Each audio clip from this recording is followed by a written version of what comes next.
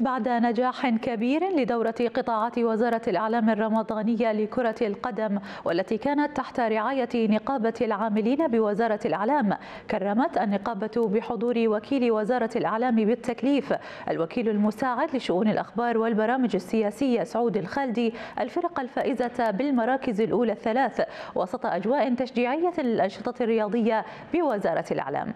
يذكر أن الدورة توج بلقبها فريق قطاع الإدارية والمالية. تفاصيل أكثر في سياق هذا التقرير.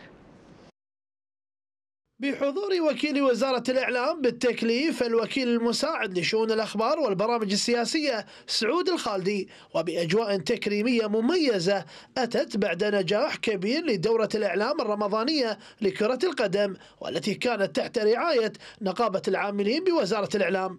كرمت النقابة الفرق الفائزة بالمراكز الثلاث فالبرونزية كانت من نصيب فريق قطاع الأخبار بينما ذهبت الفضية لفريق وكيل الوزارة أما الذهب وكأس البطولة فحصده فريق قطاع الإدارية والمالية. نشكر نقابة الإعلام ورئيس النقابة وأعضاء النقابة أنهم ما قصروا سووا هالبطولة الأولى لقطاعات الوزارة اللي صار فيها تعارف بين شباب الوزارة وتحابب.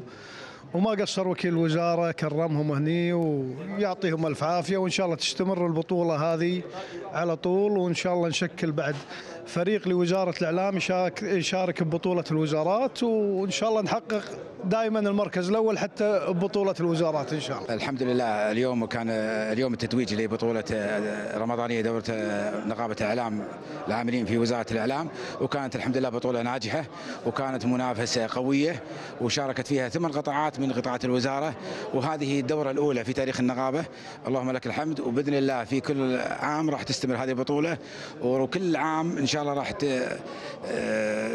تكون بطولة مميزة وبإذن الله راح تكون أفضل من سابقتها ونعدكم بالمزيد أكثر وأكثر بإذن الله. الله الحمد حققت لقب كأس هداف البطولة في هذه البطولة المميزة اللي نظمتها نقابة وزارة الإعلام أحب أشكرها وأشكر المنظمين عليها وزملائي الموظفين على الروح الرياضية.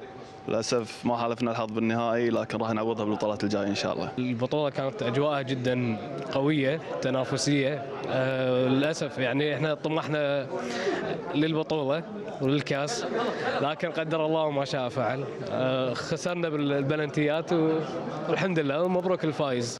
هذا وتمد مثل هذه الدورات جسور التواصل بين موظفي وزارة الإعلام وتشجع الجانب الرياضي بفعالية حرصت النقابة على تنظيمها بالامتياز وسط اهتمام ودعم كبير من قيادي وزارة الإعلام بأبنائهم العاملين بمختلف قطاعات الوزارة.